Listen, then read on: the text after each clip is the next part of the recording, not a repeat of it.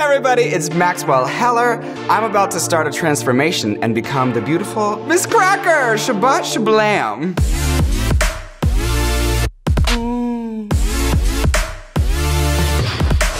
First thing we have to do is clean the canvas. I'm gonna use 99% alcohol because it's what? Industrial.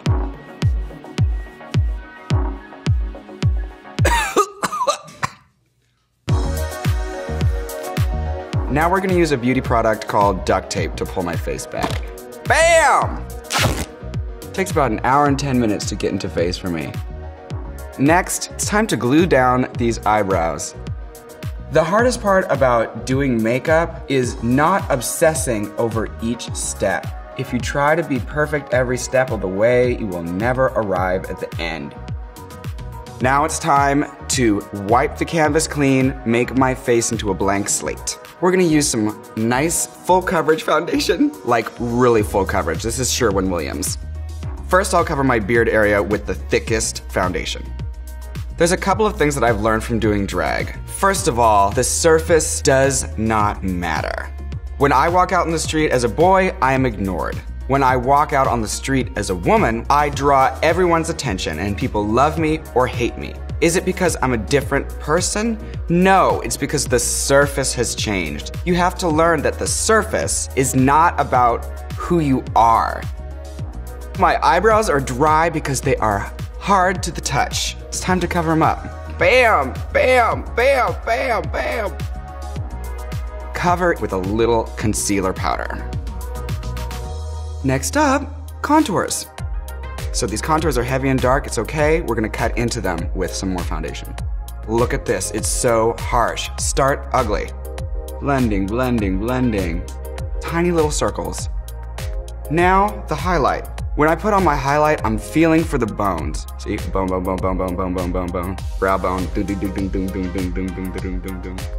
Don't over blend. Make it strong, because when we put on that setting powder, it's gonna all get softer.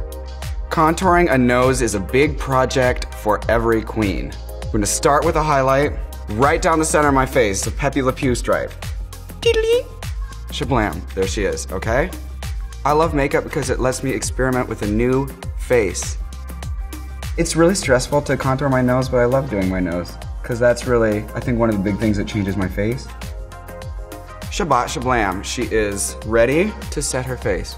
It's snowing. Let's draw on the dots and start our eyebrows. Your eyebrows are the window to the soul. Make sure that they are expressive. We're using a light tone for the center and a dark tone for the outside. It adds what? Dimension. Ow. An eyebrow has dimension, so there's a shadow at the bottom of it, so we put a little darker color along the bottom. Okay, new face. Now let's put makeup on it tiny little circles, everyone, just like my personal life. Let's add dimension to my eyeballs by highlighting the foremost part of the eye. Shablam, she's highlighted. Hello. So we're adding more contrast to the eyes so that when someone looks at you, they'll be drawn immediately to the most expressive part of your face. I'm just following the ridge of my eye socket here. When in doubt, just follow your bones. All right, top of the eye is all shaded. I have teeny little eyes, so let's see if we can make them bigger using the Amy Winehouse wing illusion. When you're doing your makeup, you should have a mirror that's close up and a mirror that's far away so that you can look at the proportions and not just the details. You can just dive right in there. People feel like everything that you do in makeup is irrevocable, but it's literally paint. You can wipe it off, so don't get so nervous about it. While this cat eye eyeliner is drying, let's highlight my face a little bit my mom is a painter, and she told me that painting and makeup are the same. You start with a neutral base and work from your lightest lights to your darkest darks. I'm adding some bright highlights here. If you have light, then you have to have a shadow, so let's add the shadow in. I used to put contour along my whole jaw. Don't do that. They get it, you have a chin. Just worry about this part. One of the most important things you can try to do in life is see your own beauty without makeup. All right, next, we're gonna go in with the foundation and widen my eye by lightening the lower tear duct.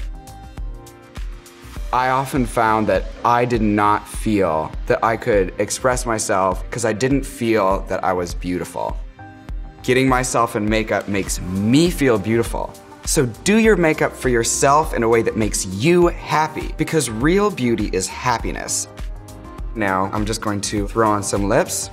There's a place where the muscles of your face connect with the muscles of your lips. There's a little ridge there. Let's put some liner right there. Just like a little shelf. The lashes are the first thing that's three-dimensional and it really makes your new face a tangible reality. It's when those lashes go on that I really am like, oh my goodness, she's a woman. I'm a woman! Here I am blowing seductively on this lash. I buy a regular lash at the store and then I snip it apart until it's the shape that I want it to be. I snip it apart and glue it back together in a different order. Okay, she's done with her face and now I'm just gonna jump into my clothes, I guess. You guys ready for this gag? This is gonna be so much fun. First, this is Albert Einstein. Wig number one, and she's ready. Touch of hairspray.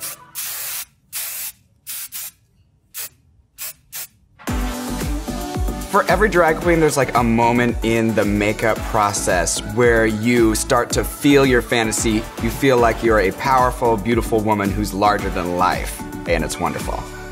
Everybody, thank you so much for watching me get in face. If you're at home and you think you want to try drag, or if you've tried drag and you want to do better, let me tell you something. Don't think too hard. Just get out there and do it.